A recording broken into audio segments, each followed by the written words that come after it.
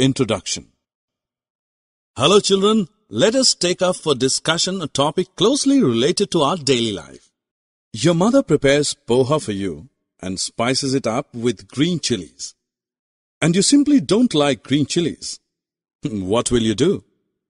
Obviously, you will carefully pick out every piece of chili before popping some poha into your mouth. A similar exercise is done by your mother when she is preparing to cook food for the family. You must have noticed her separating stones and other unwanted particles from rice, wheat, and pulses before cooking them. Though some impurities and undesirable particles can be removed by hand picking, it may not always be the case. In many mixtures, components are not easily separable. In such cases, some other techniques of separation are used.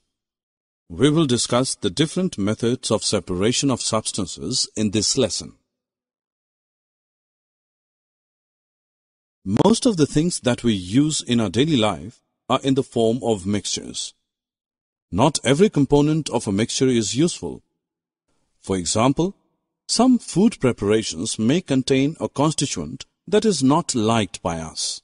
We remove it to make the food item suit our taste. So, one reason for separation is removal of undesirable components.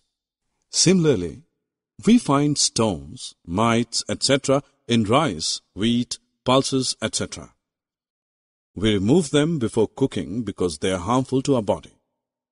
So, the second reason for separation is removal of harmful components. When we churn milk, curd, we get two different but extremely useful products, butter and buttermilk. Thus, the third reason for separating the components of a mixture is to obtain pure and useful components.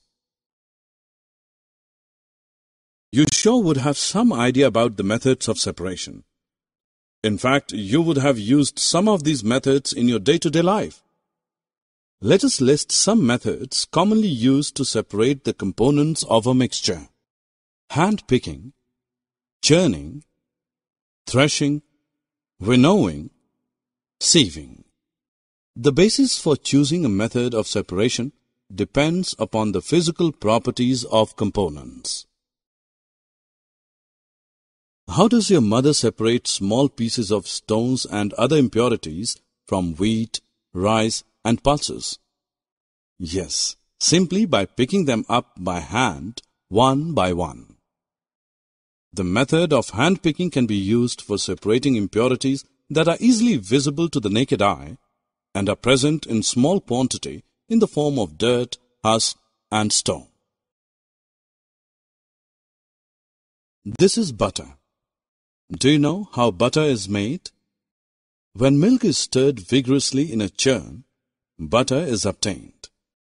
What liquid left behind is the tasty nutritive buttermilk that is relished by many as a refreshing summer drink.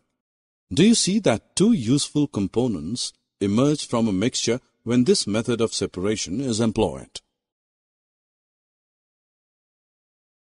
You must have seen bundles of wheat or paddy stalks lying in fields after harvest.